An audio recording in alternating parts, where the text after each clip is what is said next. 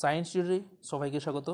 চলেছি তোমাদের কাছে মাধ্যমিক এবিডি টেস্ট পেপারের অঙ্কগুলো নিয়ে। আজকে যে পেজটা আলোচনা করা হবে, একশো ছত্রিশ পেজ এর আগের ভিডিওতে আলোচনা করা হয়েছিল এই পেজ নিয়ে। আজকে এই ভিডিওতে ত্রিকোণমিতি যে অঙ্কগুলো আছে, বারো দাগের সেই অঙ্কগুলো করাবো। তোমরা দেখো, আশা করি প্রতিটা অঙ্ক তোমরা বুঝতে পারবে। দেখো, বারোর এক দাগে কী দেওয়া হয়েছে? Sine theta plus cos theta by sine theta minus cos theta equal to seven হলে টেন থিটা ইজিক্যাল টু কত? এটা মানটা বার করতে হবে। দেখো, অঙ্কটা করে দিয়েছি। এখানে sine theta plus cos theta to কত? By sine theta minus cos theta seven by one এবার দেখো এটা কোনাগুনি গুণ করা হচ্ছে, বজ্রগুণ করা হয়েছে, দেখো। সেভেন ইন্টু সাইন থিটা করলে সেভেন সাইন থিটা মাইনাসটা বসল সেভেন ইন্টু কস থিটা করলে সেভেন কস থিটা টু কত? ওয়ান দ্বারা গুণ করেছে sine theta plus cos theta এবার seven sine theta minus cos plus sine theta এই আসলে কী হবে? মাইনাস সাইন থিটা আর কস থিটা বসল মাইনাস সেভেন কস থিটা এই দিয়েছিলে কী হবে? প্লাস সেভেন কস থিটা এবার দেখো সাতটা সাইন থেকে একটা সাইন বাদ, তাহলে ছোটো সাইন বসল। আর সাতটা কস্তিটা, একটা একটা কস্তিটা, সাতটা কস থিটা যোগ করলে কত হয় আটটা কস থিটা এবার এখানে যেহেতু টেন থিটার মানটা বার করতে বলেছে, তাহলে সাইন বাই কস করে দিলে টেনের মানটা পেয়ে যাব।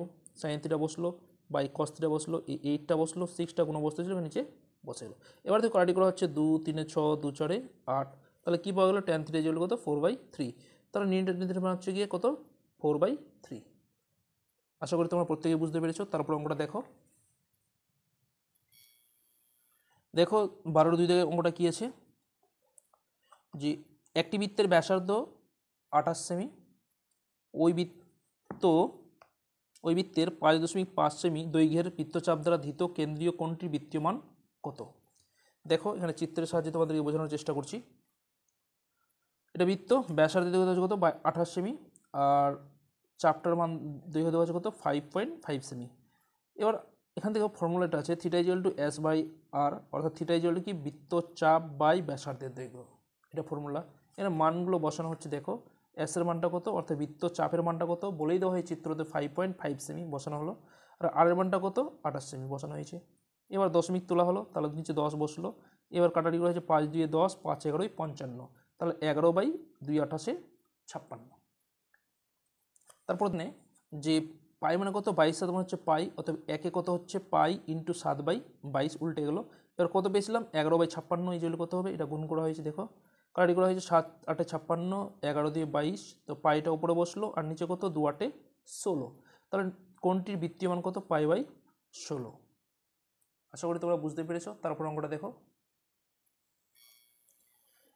তারপর তিন দাগের অঙ্কটা দেওয়া হয়েছে কি?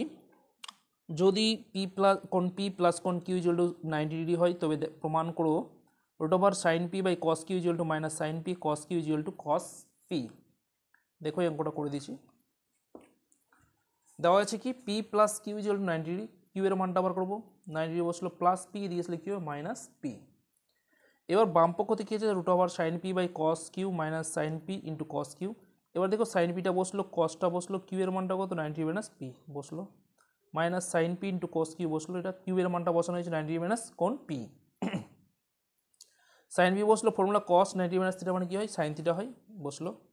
এবার সাইন পিটা বসল কস নাইনটি মাইনাস থিটা মানে সাইন থিটা থিটা বলতে এখানে কত? কোন পি এবার উপরে দেখো, উপরে সাইন পি নিচে সাইন পি কাটলো, থাকল কত? One minus sine P into sine P sine square P এবার দেখো formula one minus sine square theta এইগুলো কোথায় কস স্কোয়ার থিটা এবার যেহেতু রুট ওভার আছে স্কোয়ারটা উঠে কী হবে? কস পি, অর্থাৎ স্কোয়ারটা কস পি বসল। এবার ডান পক্ষে কস পি দেওয়া হয়েছে অর্থাৎ বাম পক্ষ সমান সমান ডান পক্ষ। মিলে গেলো? আশা করি তোমরা অঙ্কগুলো বুঝতে পারছ। এর পরবর্তী পেজ নিয়ে আবার অঙ্ক আলোচনা আলোচনা করা হবে। তাই তোমরা ভিডিওগুলো দেখতে থাকো। চ্যানেলটা দোস্ত থাকলে অবশ্যই তোমার চ্যানেলটিকে সাবস্ক্রাইব করে নেবে এবং বেল আইকনটি বাজিয়ে রাখো। তাহলে সময় মতো তোমরা ভিডিওগুলো পেয়ে যাবে। ধন্যবাদ।